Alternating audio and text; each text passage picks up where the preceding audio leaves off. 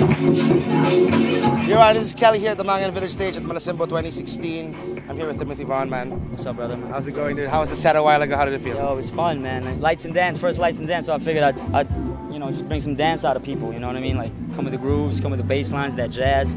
John Coltrane forever, Phife Dawg forever, Tribe Called Quest for life.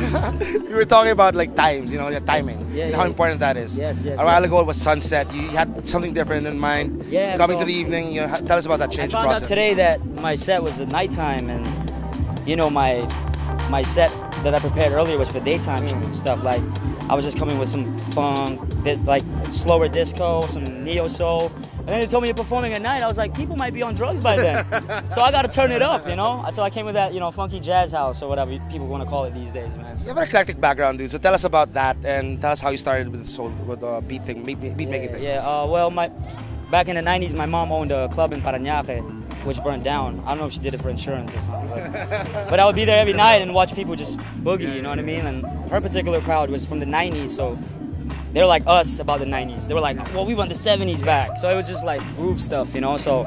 And we moved around because she was an architect as well. So I moved to Dubai, got influenced by Middle Eastern music. Moved to England, got influenced by jazz and the garage scene. You know what I mean? Like spent time in America as well, so that boom bap is always gonna be in me. You know, the b boy is always gonna be in me.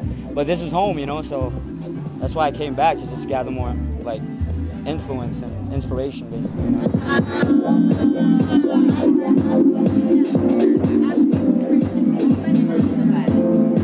Our second year with Radio Republic and how we're going up, uh, getting the artists for Mangyan Village, and we, we, we get it from the internet. Basically, people who submit songs, put up songs. How does it feel like you know putting stuff online and that vibe of being independent and putting your music up, and with people noticing what you put up online? Yeah, well, I call I call the internet like the the black hole of our generation. You know when they say you can time travel through a black hole, it's the same thing. Like you can be in Brazil, I can be in Paris, and we could be making a track together, like just like that. Or I could be like just guiding you. There- There's a lot of people out there who call their like mentors people they've never met. That's very profound. You know, we live in a very different time, so we got to act differently, move differently, you know, think differently. I guess. So one last thing, man. How's um how do people get in touch with you? Like Uh, in just hit social. me up on the internet, you know, search Timothy Vaughn, usually with the word jazz around involved or whatever. But yeah, I'm around, man. That's, that's how I, that's how they found me, so you can find me there too. Like I can find you. We're expecting anything from you soon, man. Like coming up. Thank you, man. Thank you. I mean, just I'm just gonna put out more beats this year, you know. I was just refining my instrumentation more, like you know, like going back to basics. Because with uh, programs these days, you can do anything. Like there's no limit, so that kind of hinders your creativity.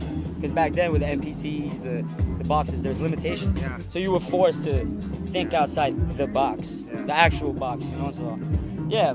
Just, I'm, I'm, like I think the last year that's what I've been refining. It. I've accepted to. I'm just gonna go back to the analog shit. And it's, I- it's great to see your mind work, dude. Yeah, oh, thank you, thank you. appreciate It's it, good man. talking to you, man. Awesome. man. Take it easy, buddy. All right. thank take you, it easy, guys. man. Timothy Vaughn.